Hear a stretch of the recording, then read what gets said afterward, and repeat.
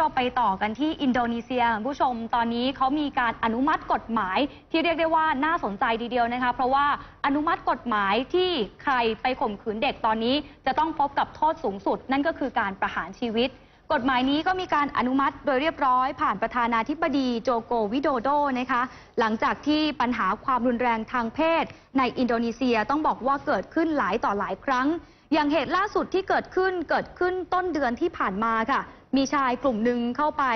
ข่มขืนแล้วก็ฆ่าเด็กนักเรียนหญิงที่อยู่ในเบงกูลู ทางตะวันตกของเกาะสุมาตรา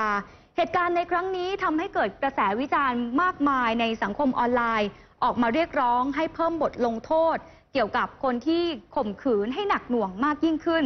ซึ่งคดีนี้ก็กระตุ้นให้กลุ่มสิทธิมนุษยชนได้ออกมาบอกนะคะบอกว่ารัฐบาลไม่ดำเนินการอย่างเพียงพอที่จะปกป้องผู้หญิงและเด็ก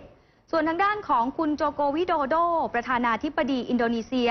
ออกมาทวีตนะคะ หลังจากที่ผ่านกฎหมายนี้เรียบร้อยแล้ว โดยบอกว่าหาบทลงโทษที่เหมาะสมกับผู้กระทำผิดในคดีนี้ได้แล้ว และบอกว่ากฎหมายที่เขาลงนามรับรองไปนั้น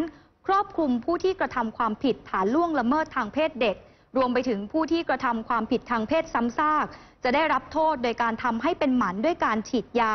แล้วก็ผู้ที่ทำผิดก็จะได้มีการสวมอุปกรณ์อิเล็กทรอนิกส์ติดตามความเคลื่อนไหวด้วยทั้งนี้รัฐบาลของคุณโจโกวิโดโดเคยถูกประนามจากนานาชาติเมื่อปีที่แล้ว รณีที่มีการประหารผู้ค้ายาเสพติดหลายคน ด้วยการยิงเป้า ส่วนใหญ่ก็เป็นชาวต่างชาติค่ะ ที่ถึงแม้ว่าจะมีการเรียกร้องแล้วก็ออกมาขอว่าขอชีวิต แต่ว่านักโทษเหล่านี้ก็ถูกตัดสินโดยการประหารชีวิตแล้วค่ะ